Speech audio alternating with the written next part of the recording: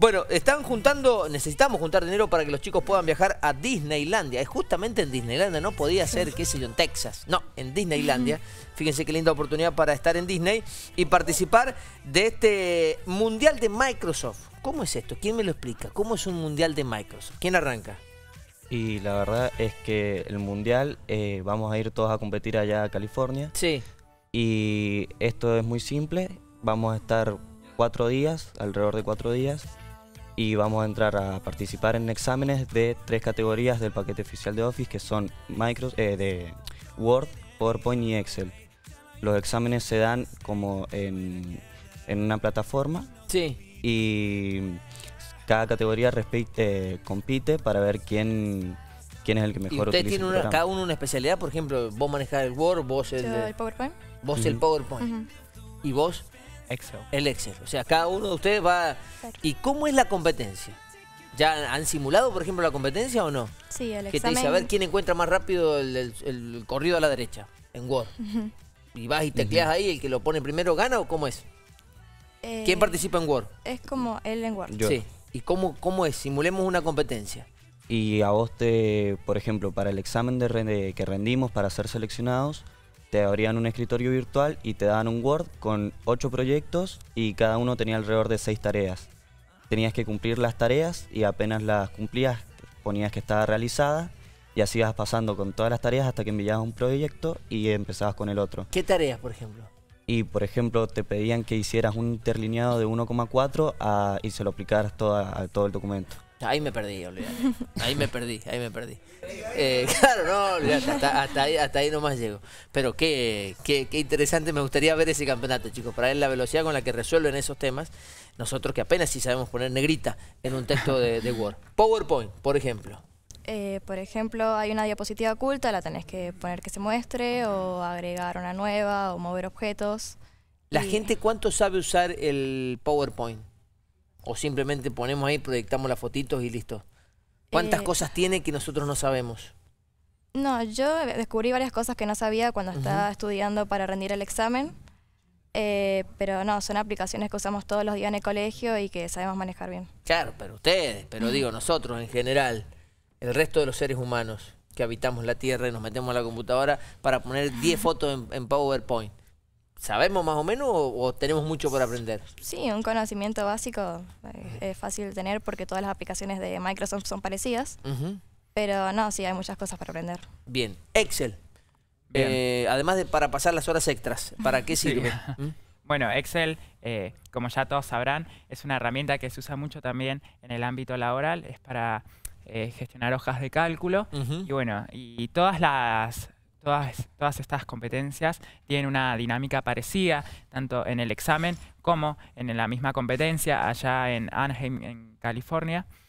Y, bueno, como comentó mi compañero, se nos dan un set de tareas eh, que son muy precisas porque el examen se corrige automáticamente entonces eh, las tenemos que ir eh, una a una realizando y asegurándonos de que estemos cumpliendo con la consigna correctamente, ¿no? Porque si no se nos puede restar puntos. Entonces el, documento ah, tiene que quedar perfecto conforme a esas especificaciones que a nosotros se nos dan en ese examen. Y tenemos entendido que la competencia va a ser algo similar, se nos va a dar una serie de desafíos y nosotros vamos a tener que realizarlos en el menor tiempo posible. Y el que más cumpla y en el menor tiempo es el que va a recibir el mayor puntaje. ¿Es eh, lo más difícil usar es Excel? Depende, en realidad. Eh, yo creo que Excel, eh, como es más usado en, los ambientes, en los entornos profesionales, por ahí es el que uno encuentra más, más formaciones en relación a estas certificaciones oficiales. Entonces, en ese aspecto es más fácil encontrar em, documentación y, tutoriales para uno ir aprendiendo e ir mejorando estas habilidades que, bueno, que las tenemos que seguir practicando, obviamente, para esta competencia. Y, Entonces, son los programas más utilizados estos tres, ¿no? Sí, Supongo yo, o hay otro, debe haber otros también, pero no se usan tanto. Claro, sí, en las en el sector de la ofimática, obviamente Microsoft se posiciona como un líder y bueno, es también... Em, trabaja muy cercanamente con nuestro colegio, eh, incorporamos sus aceleradores de aprendizaje también, la inteligencia artificial. Entonces, siempre existe esa colaboración con Microsoft y también, eh, bueno, nos brinda esta posibilidad de participar de, estas certificaciones. Eh, por ejemplo, el año pasado también nos, nos dieron la oportunidad de de rendir el AZ900, que es una certificación de los servicios de computación en la nube que tiene Microsoft y que también es una herramienta que se está usando un montón ahora eh, para el desarrollo de cualquier tipo de, aplicación tecnológica. Entonces eh, tuvimos esa certificación y este año em, fueron estas con también la posibilidad del que sacaba el mayor puntaje del colegio ir a, ir a competir, pero todos nos quedamos con esas certificaciones oficiales de Microsoft cómo se explaya, ¿no? Cómo ha mejorado desde que tuvo su primera vez aquí en el canal. Es impresionante. En Word, esto es clave lo que te voy a preguntar. Prestame mucha atención. Eh, acá tengo un texto yo, por ejemplo, de Word, ¿no es cierto? Sí. Esto es Word. Identifiquemos bien.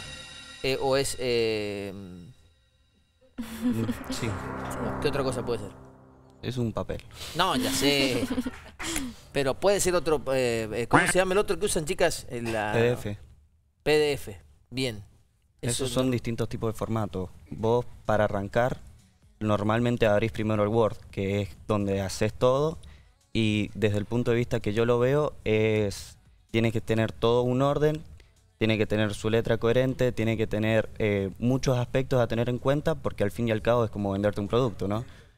Entonces... Eso quería preguntarte. Cuando vas a rendir este examen, además de, ese, de, esas particularidades que te piden, por ejemplo, ¿te corrigen los errores de ortografía o ya viene el texto predeterminado y vos tenés que actuar en base a lo que ellos te piden? No, el texto te lo dan predeterminado y vos actúas en base a lo que te piden.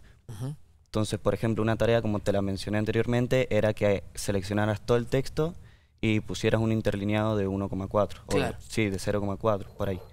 Entonces, vos en base a eso vas resolviendo lo que te piden y es como que también las tareas van ambientadas a que vos mejores el Word y lo entregues como un producto ya que se pueda vender o puedas repartirlo. Y, Guadalupe, ¿te pones nerviosa en, la, en el examen, por ejemplo? Que eh, ¿por qué no lo hice si yo lo sabía hacer? Sí, igual a nosotros tres fue lo que mejor nos fue, pero el examen sí, estábamos muy nerviosos en el momento de rendir. ¿Les dan un tiempo ahí para terminar o no? ¿O mientras más tardás, peor es? Es un límite de 50 minutos, sí. Pero bueno, el que, menos, el que más rápido lo hace también es una parte del puntaje con el puntaje. El puntaje es la primera eh, categoría que se toma y después el tiempo. Bien, bien. Claro, es un proceso de selección eh, muy meritocrático porque es, eh, no entra en juego ninguna subjetividad, es nosotros rendíamos esta certificación y el que sacaba el mayor puntaje en el menor tiempo era el que podía participar en esta competencia. Todo esto lo decide Certiport que es el organizador de esta competencia y una de las empresas también que está haciendo posible que participemos en esta competencia. Eh, eso, se, eso lo deciden ellos, en la tabla de clasificaciones puede ir a esta, esta instancia internacional aquel que haya sacado ese, ese mejor puntaje. Porque y ahora van a participar entre más de un millón o esa, etapa ya pasó? ya, pasó, esa etapa. Sí, sí, porque estas certificaciones que son las Microsoft Office Specialist las rinden muchísimas personas alrededor del mundo. Y todos los estudiantes eh, tienen también la oportunidad de, clasificar para estas competencias. De hecho, eh, la organización del colegio también invitó a otros colegios. Eh, por eso también valoramos mucho haber quedado todos del mismo colegio. Pero si, por ejemplo, otro estudiante habría querido participar, también hubiera podido y eso lo decide Certiport, que es el organizador. Excelente. Bueno, y de paso Disney, chicos. O sea, no perdamos de vista que la competencia es en Disney. Digo, hay un agregado ahí o no para que hagamos un esfuerzo y juntemos ese dinero. Sí, vamos a tener tiempo de visitar un... Claro, ¿cómo no le van a dar un ratito ahí a los directivos que los acompañen decir, bueno, mira, déjame que me voy un ratito, o no?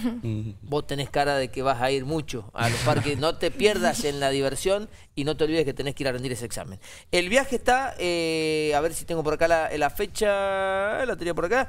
El evento va a ser entre el 28 y el 31 de julio, así que tenemos menos de un mes. ¿Qué tenemos? 15 días más o menos, la miro a la directiva del colegio que está aquí detrás para conseguir este dinero. Así que quienes quieran, ¿cómo pueden aportar o colaborar con esta gesta que es conseguir la plata para que ustedes puedan viajar? Bien, bueno, primero queríamos también agradecerles a todos los que ahora nos están ayudando, que son el gobierno de Mendoza, la Dirección de Trabajo, el Ministerio de Producción, que nos ayudan siempre en estas, en estas oportunidades que se nos dan, que, se nos dan internacionalmente, siempre nos ayudan a poder llegar. En este caso también Certiport y Pearson, que son las empresas que trabajan eh, en conjunto con Microsoft y ofrecen estas certificaciones internacionales. Y bueno, también llamar a toda la, solidaridad de los empresarios mendocinos que siempre nos ayudan, nos han ayudado también a, llegar al Mundial pasado. Entonces los invitamos a que si están interesados en patrocinar, se, puedan, se pongan en contacto con Graciela Bertancud, que es la presidenta de la fundación, o, con cualquier otro integrante de la Fundación Tomás Alva Edison, que, cualquier aporte va a ser muy bien recibido y, lo, y, y sería una ayuda que apreciaríamos muchísimo para poder lograr este objetivo de llegar allá a Anaheim y competir en esta competencia. Y lo van a conseguir, no tengo duda que lo van a conseguir. Lo que sí, Graciela, no lo traiga más, porque encima es inteligente, maneja bien el Excel, habla bien, me van a sacar a mí en cualquier momento. Así que en la próxima vez traigamos otra luz. Eh, es un chiste, por supuesto. Guadalupe, Juan y Sebastián, éxito, felicitaciones y seguramente van a conseguir el objetivo. Y después cuéntenos cómo les va. ¿Eh? y si hay video de filmar esa competencia me resulta más interesante. Videos no van a ¿Hay pica con, con Brasil? Si hay uno ahí de Brasil, decimos, ah, te, tengo que ganar o no? ¿Hay pica? Con China tenemos. ¿Con China? La mayor, sí, con no China. me digas. Sí, porque siempre intentamos probarnos internacionalmente y es con China que, que, que, a nosotros nos, nos sentimos más orgullosos de ganarle, ¿no? Porque es uno de los países que más... Eh, que lideran esta, o sea, no te saludas con los chinos, te cruzás ahí. Sí, nos saludamos porque ah. intentamos ser cordiales, pero bueno, siempre es un, eh, un objetivo a, a, vencer, ¿o no? buenísimo. Hay pica con los chinos, es buenísimo esto que me está contando, es tremendo. Chicos, gracias a los tres, ¿eh? éxito, éxito. Nos vamos a la pausa.